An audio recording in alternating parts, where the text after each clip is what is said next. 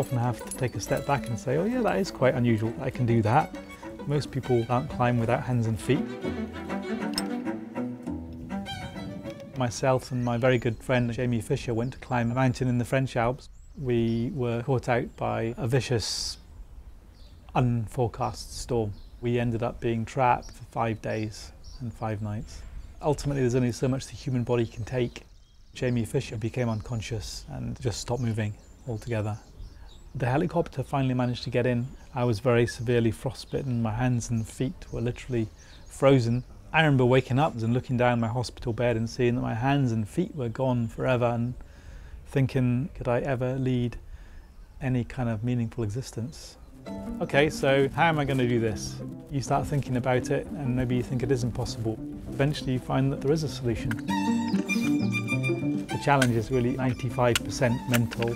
The hardest challenge is constantly coaching myself to believe whatever it is I'm doing is possible. I've not done a climb quite this difficult for a wee while. I don't know what Benan will be like. I've not done it since the accident. Perhaps the hardest bit of the day is getting my rock shoes on. Figure of eight? Yeah, that's fine. Do you want to just tie it for me? Yeah, yeah. It's just easier and quicker and therefore safer for everyone just to get it done by someone else. But when it comes to the climbing itself, I'm kind of on my own. Okay, let's do it. What we're going to go for here is just a little bit of brute force and ignorance. Now I've got to find a way of standing up. Tricky move, this one. I have to use every muscle in my body.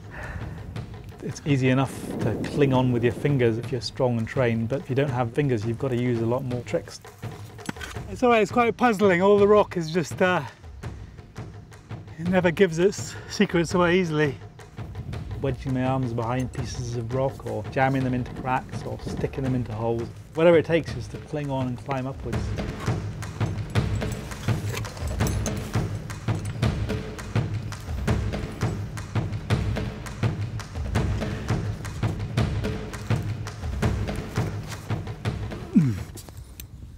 Thoughts revolve around my friend Jamie, how he hadn't survived. I felt that I owed it to him to make the most of this second chance that I'd been given and have that responsibility to him to really make the most of what I do have rather than worrying about what I don't have. Yeah, nice. Hard last move. That was a good move. I've never seen that move. Flying heel hook. I think last time I climbed, I probably just soloed up it with no ropes and didn't even notice it. So it was a lot, lot harder than when I did it with hands and feet. That's all part of the challenge. It is physically tough. You know, I'm covered in scratches and grazes already on my arms. Climbing is what made me the person I am. So it's worth a few scratches and bruises. It's just about trying as hard as I can, pushing limits, but accepting also that I can't do everything, that it's not all possible. But if you at least start out believing that what you're trying could be possible, then there's every chance that you will have success. I was on Op Herrick 13 out in Afghanistan. My vehicle triggered an IED which sent me 40 foot up in the air, down to earth with a thud. I was going down to surgery. I even had time to update my Facebook status saying I'm just going down to theatre to have my feet lopped off, see you in a couple of hours.